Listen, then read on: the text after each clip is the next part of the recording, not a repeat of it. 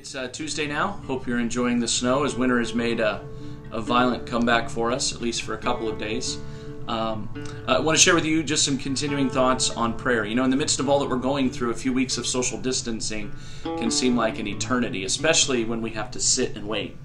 Um, we're always so busy and active, and and we're always producing and accomplishing things that it can feel like wasted time when we're just sitting and we're just waiting. It might even feel like you're sitting still right now, but you're not. Uh, you're on a planet that is rotating on its axis a thousand miles per hour, like clockwork. It just keeps happening.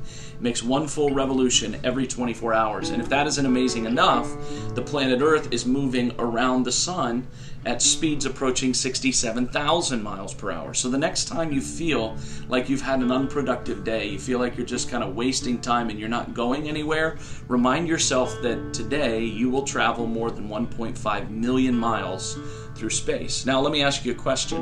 When was the last time that you lost sleep because you were concerned about the, the Creator keeping the planets in orbit? When was the last time you got down on your knees at night and prayed, Lord, thank you. Thank you for keeping the planets rotating. Today I was today was the day I thought it might stop. Um, I wasn't sure if we'd make that full rotation today, but you did it again, so thank you, God. I mean, I'm guessing the answer to that question is never. We, we don't doubt God's ability to keep the planets in orbit, but we have a difficult time continuing to believe that God can keep our lives moving forward, even though we may be sidelined, forced to sit and wait by circumstances outside of our control. And that could be what's going on now across the planet or uh, some other specific instance in your life. So, what is it you think is more difficult for God to control? The planets, the stars, the galaxies, the universe, or your personal individual story?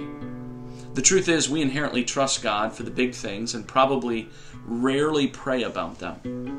Now we need to trust Him for the things that seem small in comparison but are mountains to us. Things like income and housing and bills that need paid, or healing from sickness, or relationships in your life. None of these are, are small items, but they're, they're giant mountains to us, but compared to the universe, they seem pretty minute. Learning to pray continually, as Paul says in 1 Thessalonians 5:17, pray without ceasing.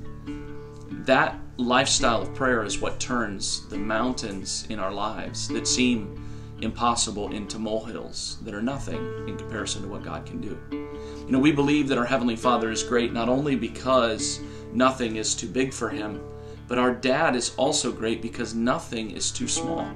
The sovereign ruler of the universe cares about every minute detail of your life and my life. So even if you don't leave your home today, know that you've still moved a massive 1.5 million miles through space. And wrestle that unbelief to the ground that God doesn't see you, that He doesn't care, because He most certainly does. You're His daughter, you're His son. He's He's crazy about you. I mean, a smile comes across his face whenever he thinks of you. You're his pride and joy. He's chosen you. He chose to adopt you. He, cho- he chooses to love you even today. He keeps pursuing you and He's with you right now. So, so talk to Him, communicate with Him, pray. Not in a formulaic or traditional way. You don't have to do anything to, to make yourself feel grander or try to get God's attention. Just pray in a consistent, authentic way. Pray throughout the day. In every beautiful moment, pray. And in every difficult one, pray.